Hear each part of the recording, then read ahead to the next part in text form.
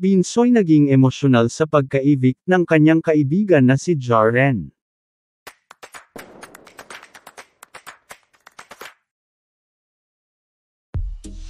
Nakilala na nga kagabi ang latest evictee sa ika-siyam na eviction ng Pinoy Big Brother Gen 11, ito nga ay si Jaren.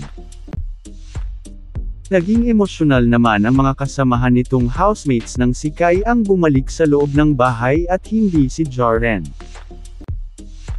Isa na nga sa hindi napigilan ang kanyang emosyon at napaiyak na lang ang itinuturing na best friend nito na si Binsoy.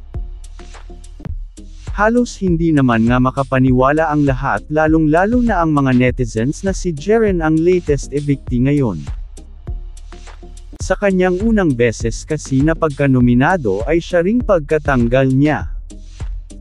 Maraming Jaren supporters ang hindi natuwa dito dahil deserve umano ni Jaren ang mapabilang sa Big Four. Samantala, hindi pa tuluyan lalabas ng bahay ni Kuya si Jeren dahil siya ay kasama sa muling babalik sa bahay ni Kuya upang subukan ang pitong natitirang housemates bilang isang house challenger. Ano kaya ang mga hamon ang baon ng mga house challenger upang tulungan si Big Brother na mapalabas ang tunay na pagkatao ng mga Gen 11 housemates? Yan ang dapat abangan sa mga susunod na episode ng Pinoy Big Brother Gen 11.